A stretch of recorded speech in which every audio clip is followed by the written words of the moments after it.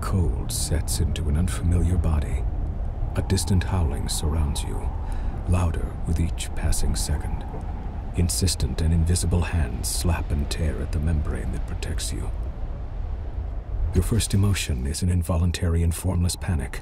You feel you have forgotten something, something important, as if it once meant the world to you, but the details slip away as you grasp at them. You force your eyes open. Is. Wait, you are wearing a form fitting suit of some dark material. You recall that you were wearing something much more elaborate a short time ago. You have smooth, light brown skin, five fingers on each hand, five toes on each foot. Good muscles, strong but not bulky, and slim hips. Your palms are soft, as if they have not done much labor, but scars and burns on the hands and wrists suggest that you haven't always been careful. Why can't you remember this?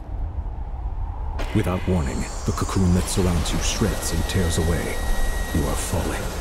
Above you, a small moon is slowly collapsing in on itself. The world is many kilometers below you.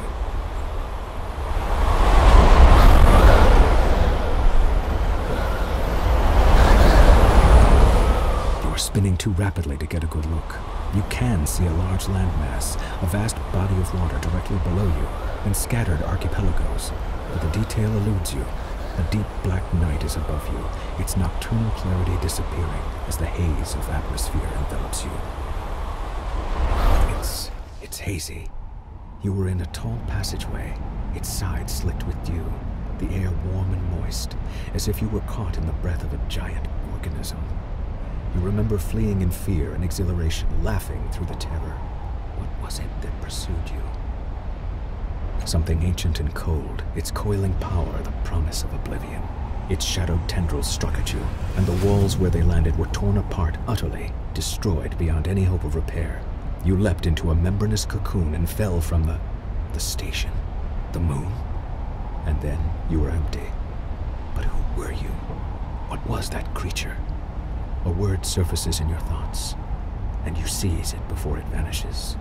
Sorrow. The world fills your sight. You're about to hit.